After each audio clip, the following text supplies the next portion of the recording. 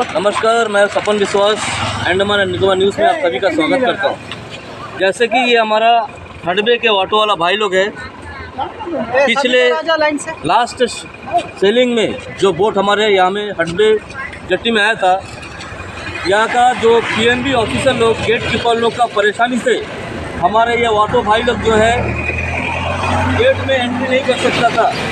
इसको मद्देनज़र रखते हुए जब ये कंप्लेंट्स हमारे लिटिल अंडमान का समिति प्रमुख तक दिया है।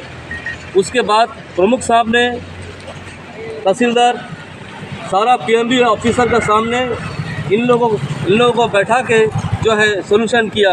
और अभी प्रमुख का सोल्यूशन का वजह से आज ये लोग हमारे भाई लोग जो है जट्टी में आराम से अपना ऑटो लेके घुस सकते हैं। आइए तो इनसे पूछते भाई साहब क्या आप लोग अभी बराबर घुस सकते हो जट्टी के अंदर? हाँ जी।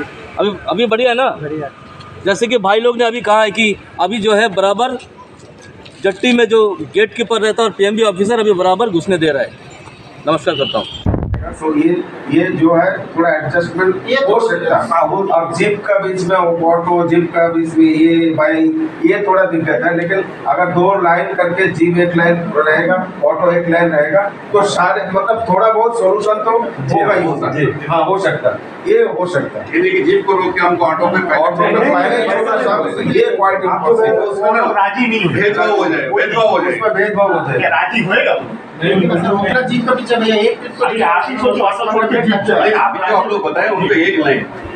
ऑटो के लिए एक ठीक लाइन जीप छोड़ दिया और ऑटो छोड़ दिया एक जीप छोड़ दिया दो ऑटो छोड़ दिया। ऐसा तरह ही जाएगा लेकिन आप बोलेगा जीप को छोड़ने नहीं नहीं जीप को रुका कर। आपको ऑटो रोक के रखने के लिए नहीं बोल रहा फिर हम लोग थोड़ा आप लोग देखो कोई छोटा बच्चा भी सब समझता है। जी सर। कि बोला रुकेगा। नहीं रुकेगा मानते हैं।